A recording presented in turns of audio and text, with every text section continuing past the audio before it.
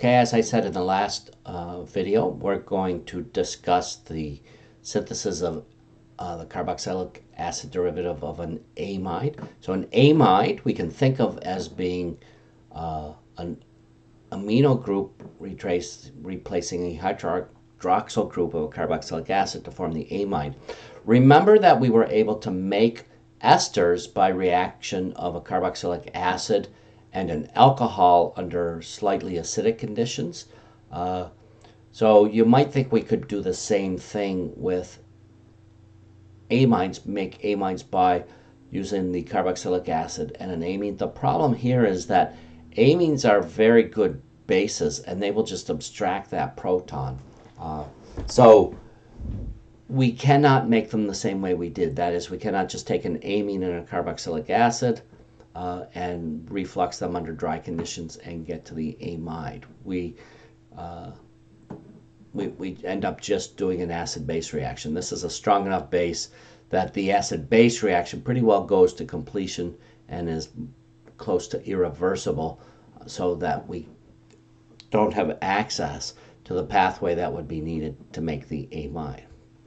Luckily, we can make the amides from other carboxylic acid derivatives, for example, an acid chloride. So let's take a look at the uh, reaction mechanism uh, of an acid chloride with an amine. So acid chlorides are quite good electrophiles, as we've already discussed, and the first step in a reaction is just going to be a nucleophilic attack uh, of the carbonyl carbon of the acid chloride by an amine. When we do that, we can make our tetrahedral intermediate, and our tetrahedral intermediate will collapse. It can collapse and come back. Uh, that doesn't get us anywhere. We're just back to the starting materials. But we can collapse in a different way by kicking off a chloride. When we do that, we end up with what looks like a protonated amide. Now, it is interesting that if you take an amide and throw it under acidic conditions, the proton prefers to go to the carbonyl carbon, not the nitrogen. So this, this form of a protonated amide is actually very acidic. It readily gives up a proton. Uh, but what is the most basic species in our solution? Well, it happens to be the amines.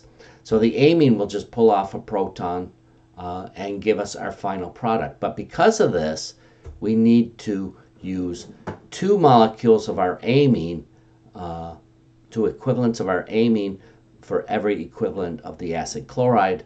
We get our amine product and the HCl salt of the, of the amine. So our amide product and the HCl salt of the amine. So you have to be aware, uh, and if you look at the mechanism, you realize that these things are good bases, and this thing is a terrible nucleophile, so it'll just sit there at this point.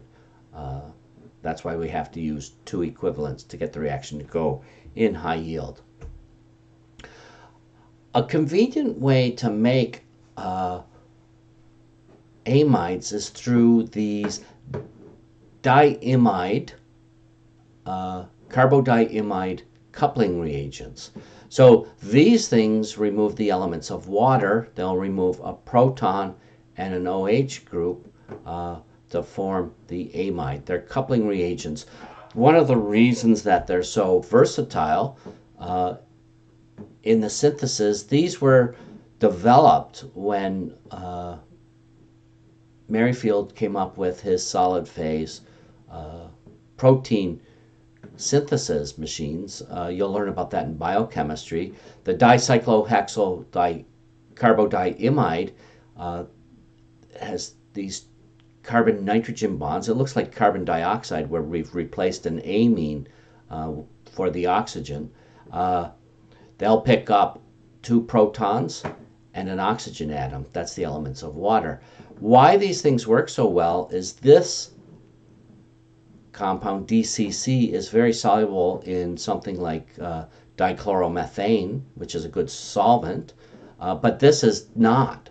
Uh, so it provides a mechanism for a reaction where our reagents can be soluble in the solvent, our product that we want, the amide, soluble in the solvent, but the dicyclohexyl urea uh, comes out of solution. The first step of the reaction makes this thing, which is an O-acyl isourea. It's very has a very good leaving group.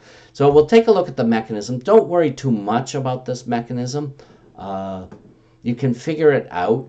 The first thing that happens is these are quite basic. They just pull off a proton and get protonated. When they do, they become very good electrophiles. That carbon is very electrophilic and will get attacked by the carboxylate that it just formed. Uh, and that ends up forming our uh, isourea compound. Then another, our amine comes along and it can attack at the carbonyl carbon of this compound, form our tetrahedral intermediate.